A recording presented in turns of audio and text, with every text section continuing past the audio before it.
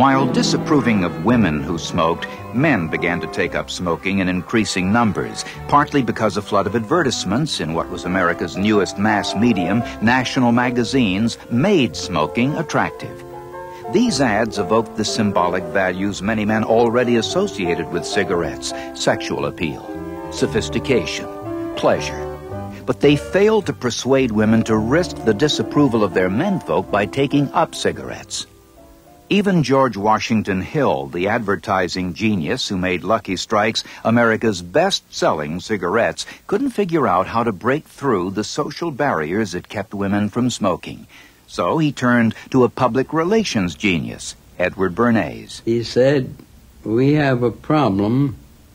We're losing half the market in America because there is a taboo against women, women smoking particularly smoking in the streets.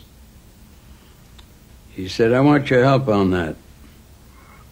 So I said, before I can offer you a, a suggestion or a recommendation, I would like your authority to visit Dr. A. A. Brill, who was the leading psychoanalyst of his time.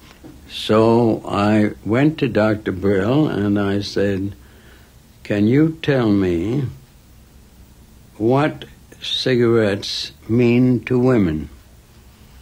And as quick as that, he said, cigarettes to women are torches of freedom that they use to dramatize their objection to the taboo against smoking by men.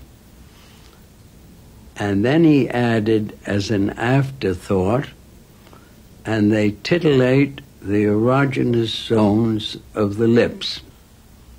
So I left and wondered what to do with that information.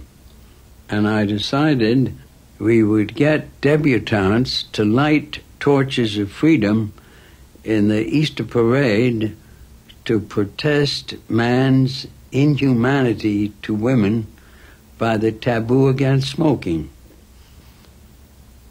Within six weeks, smoking became an accepted pattern for women throughout the United States. An ancient prejudice has been removed.